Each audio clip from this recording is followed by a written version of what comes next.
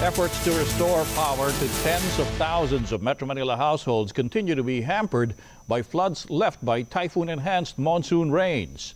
This report from Lady Vicencio. Cleanup efforts are underway in flood-hit communities, but residents say they can only do so much since power is still down in some areas. Meralco says most of the affected households are in Metro Manila.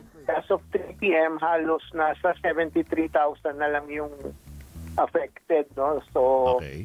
given our customer base of almost 8 million, siguro ano na lang ito, mga one, little less than 1%. Dito sa Metro Manila, ah Bulacan na lang ito halos. Hanggang ngayon, di namin alam kung kailan pa magkaroon ng kuryente. Mainit, na mahirap. Dikit-dikit lang yung tulog. Tatlo kami. Tapos yung iba dito na lang po sa may upuan. Meralco has appealed for the public's understanding, saying safety is their priority.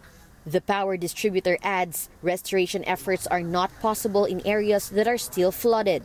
But Meralco commits to continue restoration efforts throughout the weekend until the whole franchise area is re-energized. before the day ends sa mga lahati ito. So by the weekend, the, uh, mostly mapping up operations. I'm just hoping na tuloy-tuloy nang bumaba yung tubig baha because in some areas mataas pa rin. Ano? Although hindi kasing taas nung mga nagdaang araw, uh, medyo uh, alanganin pa rin uh, yung uh, mga crew natin na ibalik yung serbisyo ng kuryente. Ideally kasi dapat wala ng tubig.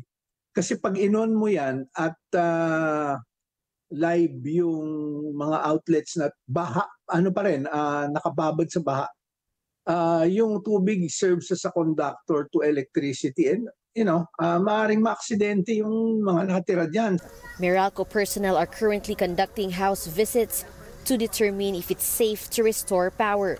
Residents are also advised to seek the help of professional electricians to repair water damaged electrical outlets.